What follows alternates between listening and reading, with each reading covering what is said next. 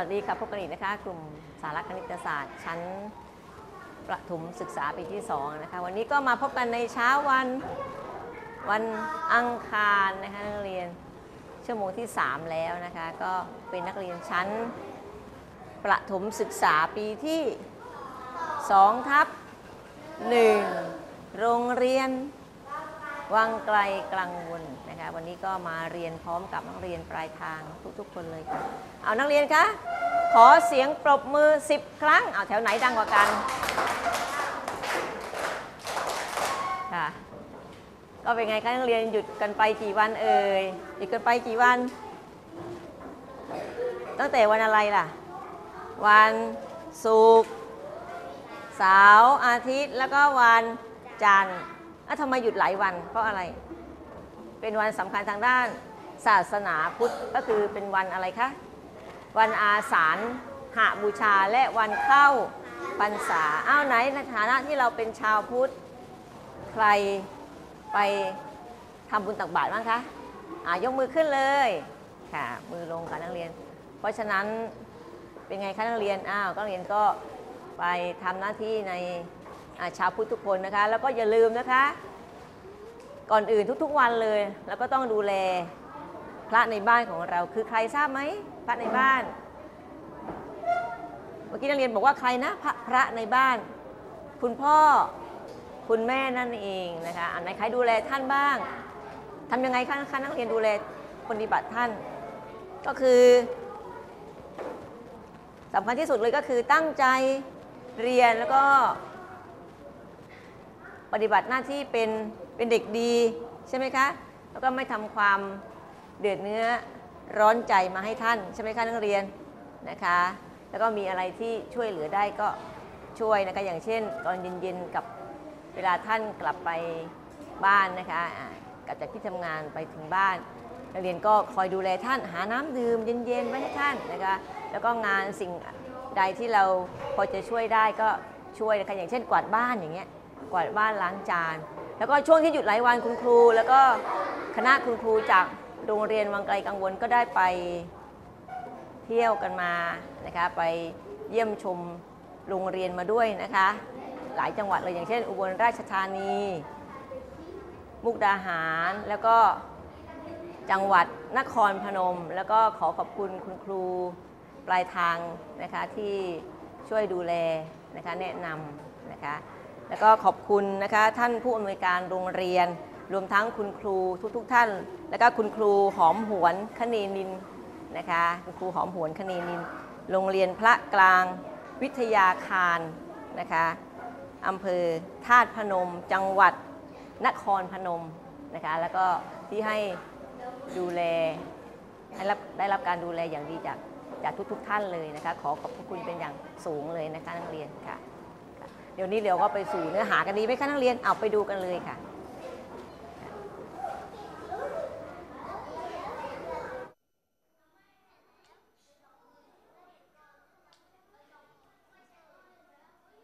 แมตช์วันนี้ต้องพี่เมทาบอย สวัสดีครับน้องๆ วันนี้พี่เมทาบอยจะมาบอกวิธีวัดเครื่องมือแต่ละชนิดกับน้องๆ นะครับ การวัดความยาว เราจะมีหน่วยที่ใช้บอกความยาวเป็นเซนติเมตรและเมตรนะครับ ลองมาดูวิธีการวัดที่พี่เมทบอย จะให้ดูกันเลย นี่คือการวัดความยาวเป็นเซนติเมตรนะครับ เซนติเมตรเป็นหน่วยที่ใช้บอกความยาว ใช้อักษรย่อคือซอมอจุด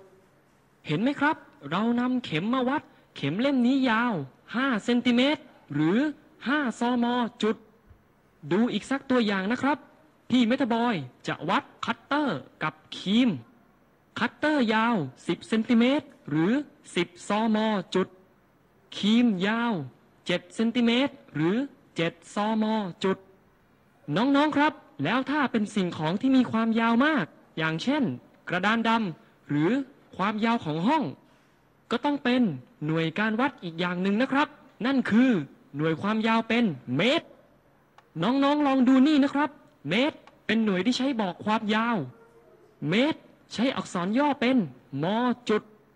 ความยาว 1 เมตร เท่ากับความยาว 100เซนติเมตรนั่นเอง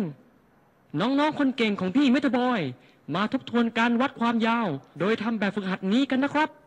ข้อแรกคือ แท่งเหล็กยาวกี่เซนติเมตร ข้อที่สองไขควงยาวกี่เซนติเมตร และสุดท้ายคือ ปากกา ยาวกี่เซนติเมตร การวัดความยาวไม่ยากหรอกครับน้องๆ แค่เลือกใช้เครื่องมือให้ถูกต้องยาว 9 เซนติเมตรสบายเลยต้องนะครับไขควงยาว 6 เซนติเมตรนะครับน้องๆสวัสดีครับ ถ้าตอบว่ายาว 8 เซนติเมตรแล้วก็ยอดเยี่ยมไปเลยครับ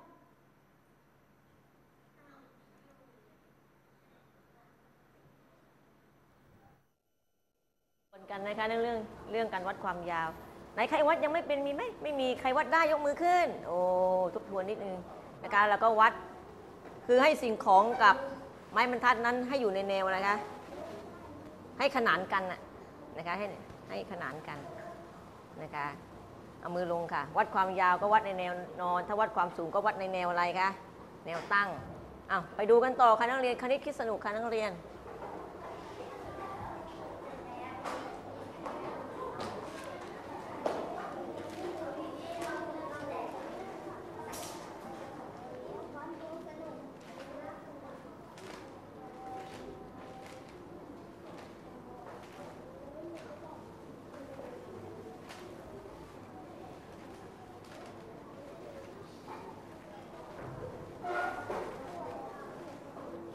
เอาเขียนวันที่ก่อนเลยนะคะ วันนี้ก็วันอังคารที่ 15 กรกฎาคมนะคะ พุทธศักราช 2557 ค่ะนักเรียน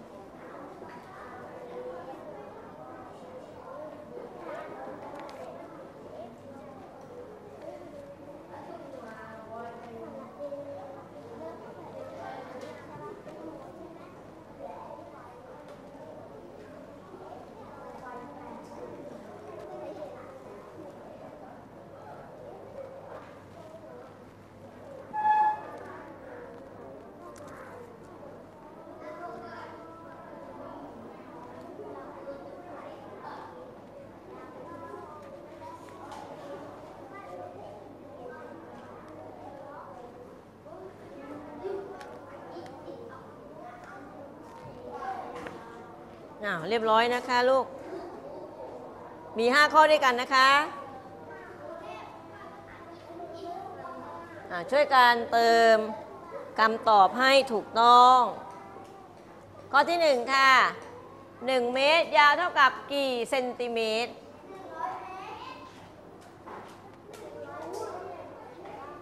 1เมตรเท่ากับกี่เซนติเมตร เขาถามเป็นเซนติเมตรใช่ไหมคะลูก ให้เป็นเมตรมาแล้วก็ถามเป็นเซนติเมตร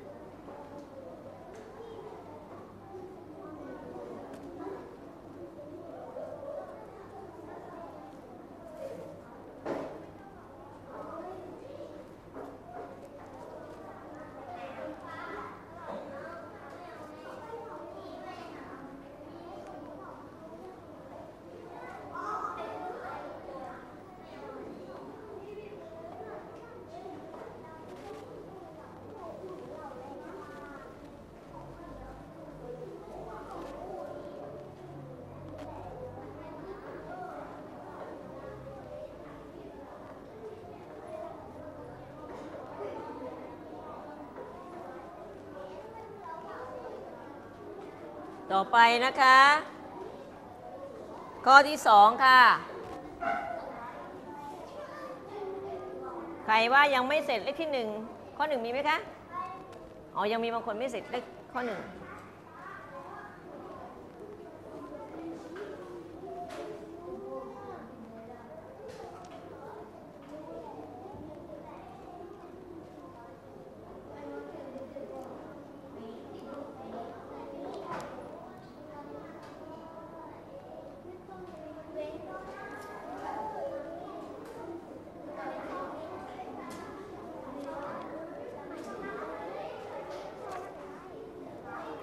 ต่อไปนะคะข้อ2 2 เมตรนะคะ เท่ากับกี่เซนติเมตร